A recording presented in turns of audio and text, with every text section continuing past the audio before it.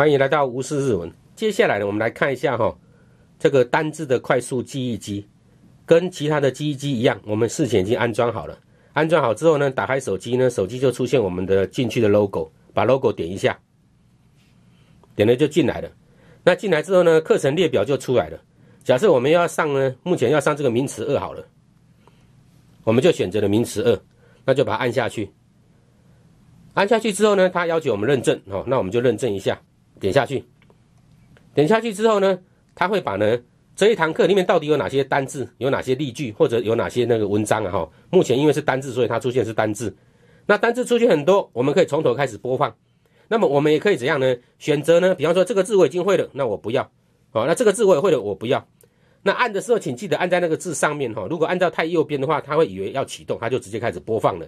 哦，那利用这种方式呢，我们可以假设，哎，这个字我不要。好，这个字我也不要，已经都熟练了，我不需要了哈。我们把这个呢，哦，这个呢，熟练的都把它选出来。好，要选出来之后呢，从哪边开始都可以，没有关系哦，它会循环的播放的关系。好，那假设我要从这里开始的，我把它按下去。那这台机器呢，这个程式呢，已经设定到我们呢，希望它呢朗读几次哦，可以自由设定。一般来讲，听过一次就要记忆是很难得的哈，很困难的事情。一般建议至少听个六次八次无所谓。那再来呢，字跟字间之间的单字的这个。空档，空档太长也是浪费时间嘛。再来呢，速度呢，希望它快一点、慢一点，这个都有办法进去设定哈。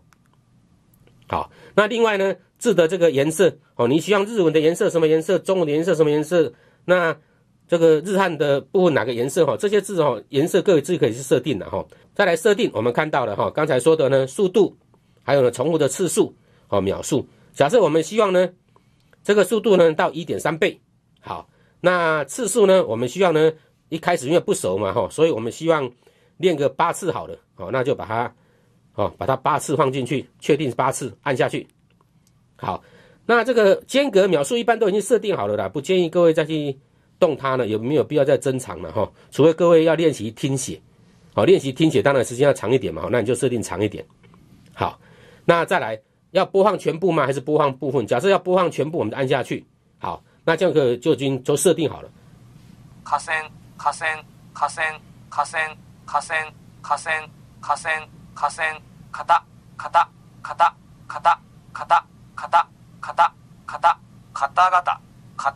型、型、型、型、型、型型、型型、型型、型型、型型、型型、型型、型型、加工、加工、加工、加工、加工、加工、加工。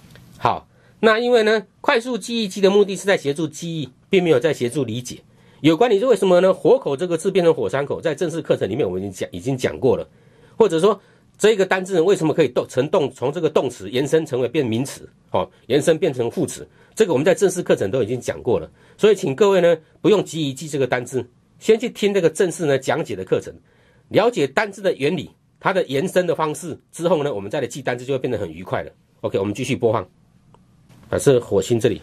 火星，火星，火星，火星，火星，火星，火星，火星，火曜，火曜，火曜，火曜，火曜，火曜，火曜，火曜，か、か、か、か、か、か、か、か、片付け、片付け、片付け、片付け、片付け、片付け。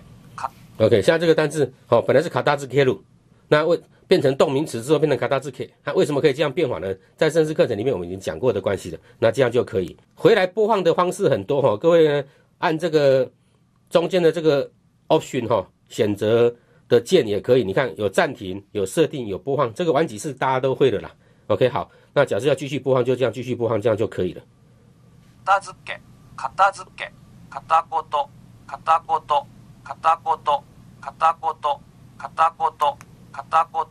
OK，那就像这样子哈，看看各位一开始需要几次，以后逐渐的减少，那速度要多快什么呢？再请各位呢，我们来看一下，那快的话呢，比方说也可以快到这么快啊。假设快到这么快，然后呢，我们次数呢，我们只给自己呢一次的机会啊。比方说将来很熟，那我们呢只给自己呢，比方两次的机会好了，两次的机会之内呢，我们要熟悉哦，那这样也可以啊。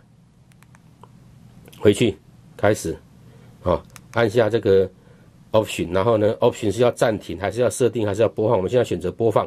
片言、片思い、片思い、片道、片道、カタカナ。它现在就是我们刚才所设定的了，只念两次，但是念很快，看看能不能能不能在这么短的时间之内我们就想起来。好，那如果能够这样想起来的话呢，那这样呢，在 实物之用或者考试之用都非常快的。OK，那请尽量利用片片段段的时间加去学习，所以这些投资都是非常值得的哈。再请各位考虑一下。OK，我们就介绍到这里，谢谢，再见，加油。合唱、はい、はい、快速。